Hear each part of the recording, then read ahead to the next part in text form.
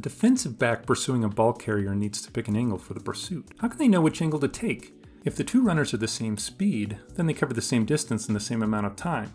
So one strategy is to find a point on the sideline that is the same distance away from both the DB and the ball carrier.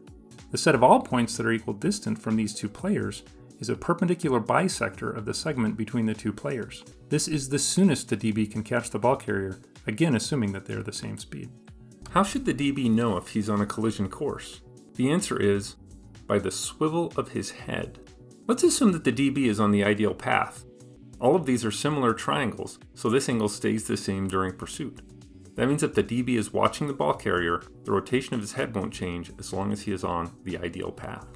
So we figured out two helpful strategies for a defensive back. First, they can use the perpendicular bisector to find the isosceles triangle path. If they're running in a straight line and their head doesn't swivel while they watch the ball carrier, they are golden.